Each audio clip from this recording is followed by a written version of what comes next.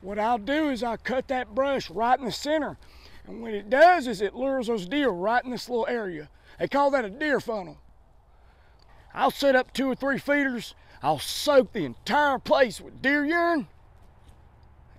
You talk about, hey, I can get, let me tell you something. I can pop about two or three of them at a time.